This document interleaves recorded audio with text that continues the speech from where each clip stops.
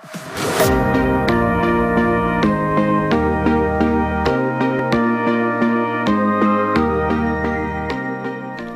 everybody, I'm so happy you're here because it is another studio update and I'm super happy because we finally got the carpet out. That's why it's kind of echoey in here.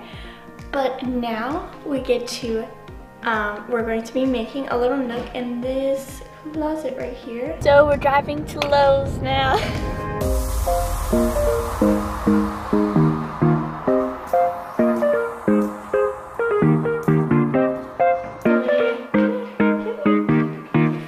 She's in the video today.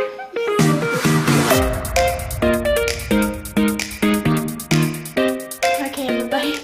After the design or rethinking the design a million times, we have a verdict and now we will screw.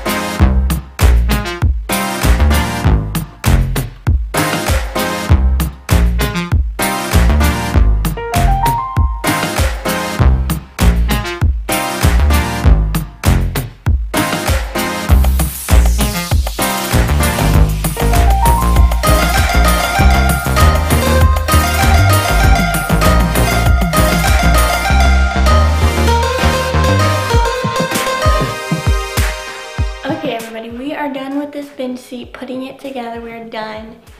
And now all I gotta do is paint it, but painting takes a little bit more time than you think because you have to let it dry and then maybe put a second coat on and then, you know, all that stuff.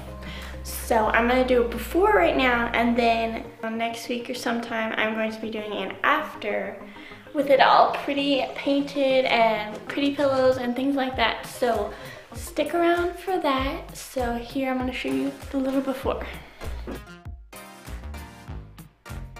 And let me tell you, it is not perfect, but it is fully functional and pretty well made, I think.